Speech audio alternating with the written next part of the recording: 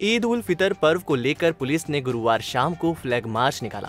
Flag march के दौरान लोगों को कोरोना संक्रमण की चेन तोड़ने को लेकर घरों में रहने की अपील की। साथ ही घरों में रहकर ईद का पर्व मनाने की भी लोगों से गुजारिश की। वहीं धार्मिक स्थलों पर भीड़ नहीं लगाने को लेकर भी लोगों से निवेदन किया।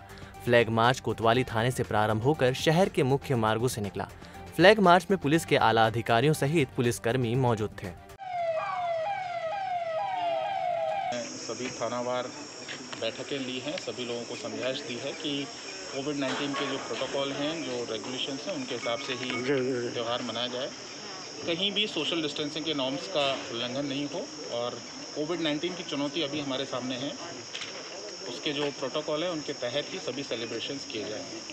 इस हेतु फोर्स को ब्रीफ किया गया है और फ्लैग मार्च भी निकाला गया है। दूसरा पॉइंट ये है कि सभी लोगों को जो लोग फ़ील्ड में ड्यूटी कर रहे हैं उनको उनके जो प्रयास हैं अभी तक उनको एक्नोलेज करने के लिए